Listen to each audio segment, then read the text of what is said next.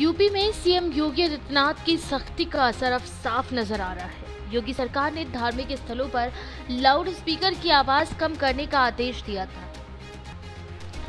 इस सख्ती के बाद धार्मिक स्थलों पर लगी सत्रह हज़ार लाउड स्पीकरों की आवाज़ धीमी हो गई है। साथ ही 125 जगहों से लाउड स्पीकरों को हटा भी दिया गया है। इसके साथ ही योगी ने ट्वीट करके यह साफ़ साफ़ कहा था कि कोई भी शोभा यात्रा या धार्मिक जुलूस बिना विधिवत अनुमति के नहीं निकाला जाएगा। और अनुमति से पहले आयोजक से शांति सौहार्द कायम रखने के संबंध में शपथ पत्र लिया जाएगा। अनुमति केवल उन्हीं धार्मिक जुलूसों को दी जाए जो पारंपरिक हो, नए आयोजनों को अनावश्यक अनुमति न दी जाए। शासन के भी निर्देश हैं कि जो ध्वनि या आवाज़ इत्यादि के बारे में भी स्पष्ट निर्देश दिए गए हैं कि उसमें माननीय हाईकोर्ट के आदेश का अनुपालन हो।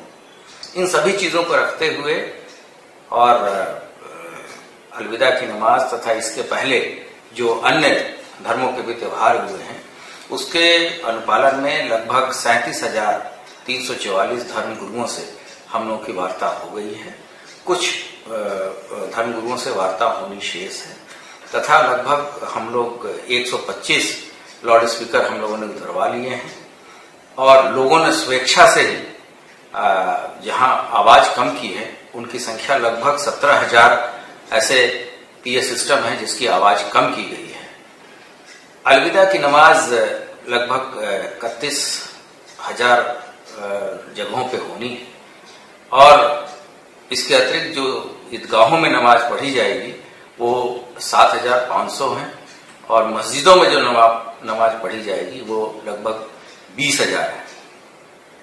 जो हमारे परंपरागत रूप से संवेदनशील जनपद हैं, वहाँ विशेष प्रबंध किए गए हैं। और हम लोगों ने जो फोर्स लगाया है, लगभग सैतालीस अड़तालीस कंपनी पीएससी लगाई है, सात कंपनी सीएपीएफ भी लगी है। इसके अतिरिक्त सीएपीएफ और भी मिलने की संभावना है, तथा हमारी पूरी सिविल पुलिस की फोर्स जो जनपदीय इकाइयों में है, वो उस दिन रहेगी।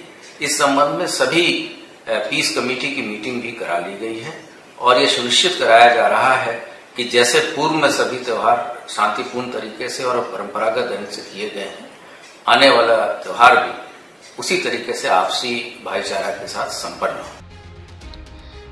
बता दें कि प्रदेश के एडीजी लॉ एंड ऑर्डर ने यह जानकारी दी है। पुलिस अफसर ने कहा कि लाउड स्पीकर को लेकर राज्य में हाईकोर्ट के निर्देशों का पालन करवाया जा रहा है। एसडीएम सान्या छाबड़ा ने बताया कि राम जानकी मंदिर और सुन्नी जमा मस्जिद दोनों गांधी चौक मोहल्ले में एक दूसरे से चंद मीटर की दूरी पर लाउड स्पीकर उतारने का फैसला किया है।